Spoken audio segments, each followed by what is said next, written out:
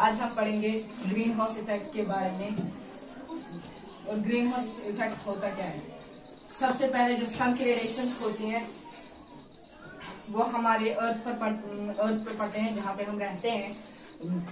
कुछ तो अर्थ एब्जॉर्ब कर लेती है, लेकिन कुछ रेज होती हैं जो अर्थ से रिफ्लेक्ट होके एटमॉस्फेयर में चल जाती है, ताकि ताकि वो स्पेस स्पेस तक पहुँच सके। लेकिन जब वो रेज एटमॉस्फेयर में जाती हैं कुछ ग्रीन हाउस गैसेस की वजह से वो वहीं पे ट्रैप हो जाती हैं। और उस ट्रैप होने के बाद वो वहीं पे गर्म होने गर्म होने लगती हैं।